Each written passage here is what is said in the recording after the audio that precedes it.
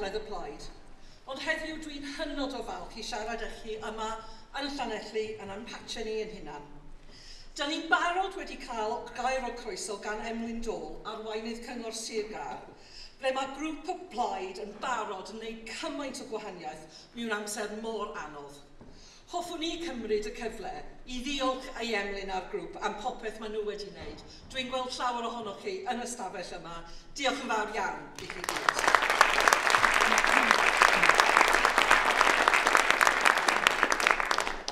A fe'n hoffwn i hefyd estyn croeso cynnes iawn i chi gyd i cynhadledd y blaid, i lle sydd yn arbennig iawn ac yn arbennig iawn, iawn i mi. Wrth i mi paratoi i siarad i chi heddiw, dwi wedi bod yn meddwl nôl i'r tro cyntaf i fi ymladd etholiad yma, bron 2 naw mlynedd yn ôl. Doeddwn i ddim yn dod o'r ardal yn greiddiol, Ac ar ddechrau ymgyrch yn 98, doeddwn ni ddim wir yn nabod y lle yn dda. Ond ar ôl y cydig o wythnosau, roedd pethau'n gwahanol iawn. Roeddwn ni wedi dechrau dod i nabod cymuned o cymunedau, fel oedd yr anwyl Dr Phil Williams ar arfer disgrifio Gymru gyfan. Cymuned o cymunedau oedd yn wynebu clodi, dioddau sgil effeithiau creulondeb Thatcher, a rein flaen ar ymgyrch i cadw iaith Cymraeg yn iaith byw, iaith cymunedol. Cymunedau oedd yn ymateb i'r holl problemau mewn ffyrdd positif a creadigol. Pobl oedd wrth gweld isiw yn mynd ati i fynd o ffordd i'w datrys. Yn aml iawn, yn wyneb llywodraethau a pobl pwerus, oedd yn dangos ar yr orau diffyg ddiddordeb ac ar y gweithiau yn rhoi rwystrau yn y ffordd. Des i i admygu'n fawr ddelder pobl Llanelli a'r Gwendraeth, a'i hiwma, a'i ffordd onest a agored o trafod. Cyplysu hwn i gyd gyda treithia a golwgfeidd hynod o hardd, a'r castell gorau Cymru, sef yn Cydweli, mae ddrwg yn ei Cynarfon o'n Cydweli yn gorau fi, dim syndod ffindes i fy hunan yn syrthio mewn cariad a lle, gyda awydd mawr yn fy nghalon i ynghytrefi yma ac fel cynrychiolydd yn y cynulliad, i cael cyfle i cefnogi o holl pobl oedd yn gweithio mor galed i gwneud gwahaniaeth. And it was my privilege to be given that opportunity in 1999. And I was so proud as Llanelli's AM to support so many powerful community campaigns. To just give a, a couple of examples of, in the field of health. Just as I was elected in 1999, The bureaucrats in the then Health Trust announced that, despite many promises, they would not find the funds to staff the hospice that the community had raised hundreds of thousands of pounds to build and equip. A state-of-the-art facility they expected us to leave empty. Well, we were not having that. We wrote, we phoned, I argued with the then First Minister Alan Michael, which was a bit like arguing with a wet flannel, but I did my best.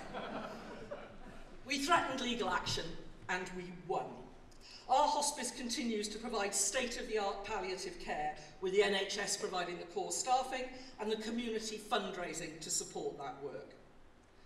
Over a period of almost 10 years, I worked side by side with the amazing ladies of the breast care support group, the surgeon Mr Holt and his clinical team, to successfully persuade the Welsh Government to invest £6.6 million pounds in a brand new breast care centre at our hospital, where patients from all over West Wales and beyond receive outstanding care, with again the community fundraising to support.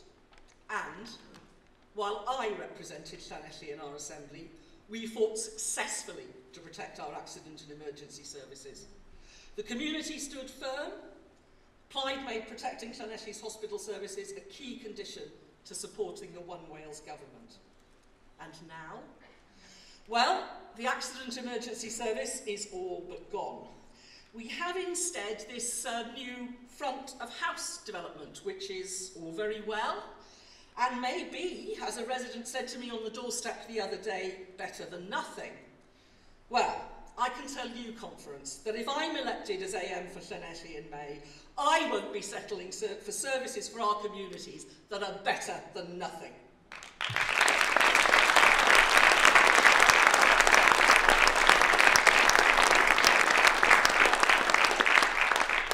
the whole health service is struggling 6,324 operations were cancelled in our hospital alone in the last two and a half years. 6,324 patients, our fellow citizens, left in pain due to lack of staff, lack of equipment, lack of beds. And staff are at the end of their tethers. You may see them smiling in photo opportunities with the Labour Health Minister, but when I meet them on the doorstep in the supermarket, it's a different story. Overwork, stress and anger about not being able to care for their patients in the way that they've been trained to. Experienced, caring professionals seriously considering quitting the profession altogether. Labour is letting our health service down, staff and patients. Staff are doing their best, but they need support. Plaid has practical costed policies that would bring 150 extra healthcare professionals to the Llanelli area, break down the barriers between health and care, and free staff from pointless bureaucracy. We can, only Plaid can, deliver the change our health service needs.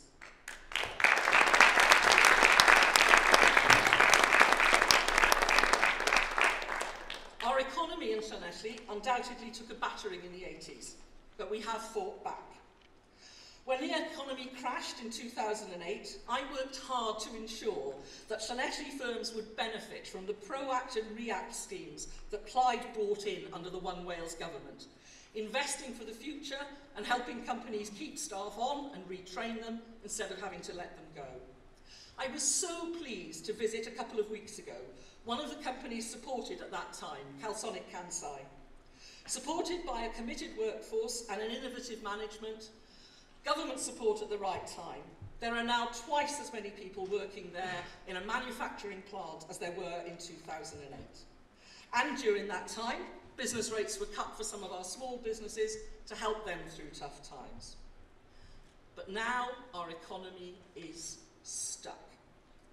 Value of exports from Wales has fallen by 2.6 billion pounds in the last two years. There are great companies that are bucking that trend, but it's not good enough. Where has our Labour government been in all that time? Plaid in government will set up a new Welsh Development Agency to drive Welsh sales abroad. We'll establish a new National Commission on Infrastructure, railways, roads, broadband, and that will ensure that companies all over Wales can compete fairly. And we will take thousands of small businesses out of business rates altogether, which, with the major investment that Plaid councillors in Carmarthenshire are already delivering, will make a huge difference, for example, to traders in our market in Llanelli. Conference. Back in our history, Llanelli was a great generator of wealth. Our people gave their strength, their health, and often our beautiful natural environment, mostly to fill the pockets of others. Now is the time to harness all that energy, all that creativity that is in our communities to create wealth that can transform the future for us all. It is possible, it is necessary, and the time to elect a government to make it happen is now. Applied Cymru government.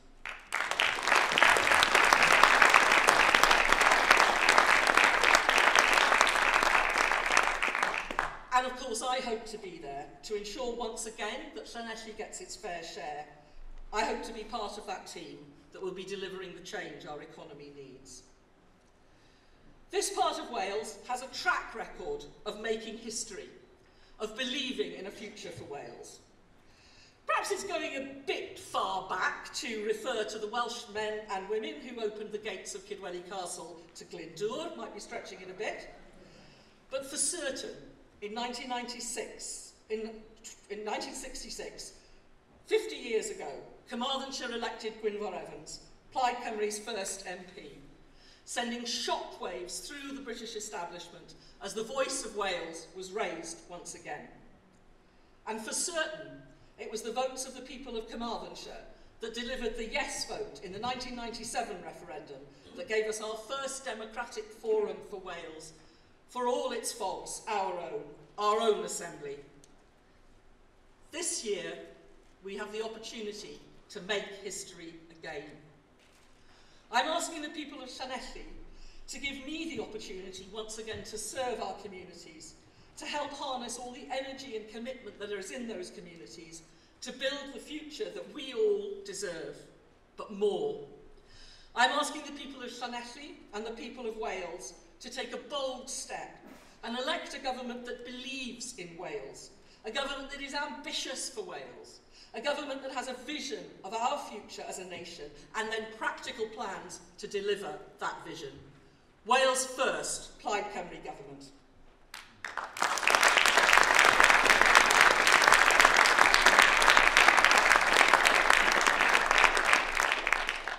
Friends, for far too long, We have lived under governments that have held us back and kept us down. Tacitly accepting that poverty in Wales is somehow inevitable and accepting that it is okay to provide us with public services that are better than nothing. Enough is enough. No more.